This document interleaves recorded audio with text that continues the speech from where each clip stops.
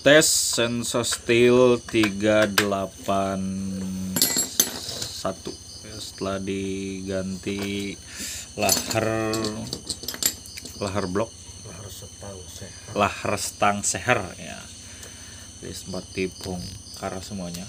Dan sini sedang live juga.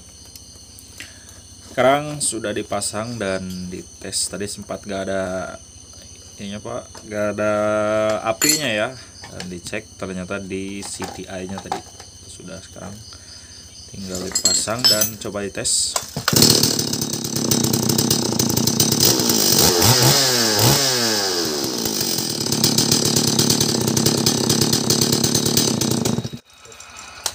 Oke.